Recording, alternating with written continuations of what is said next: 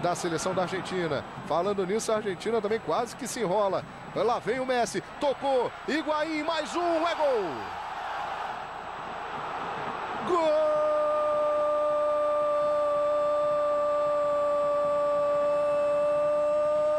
da Argentina! Não pode bobear na frente de Lionel Messi. Ele pegou e deixou o Higuaín na cara do gol. Ele vai consagrar o Higuaín, o Messi, hein? O Messi vai consagrar o Higuaín. E o Higuaín tá mandando a bola para a rede. Fez o terceiro dele no jogo e o quarto da Argentina. Gonçalo Higuaín. Argentina 4, Chile 1. A defesinha, ó. Olha o Bravo, ó o Bravo. Que bobeada, hein?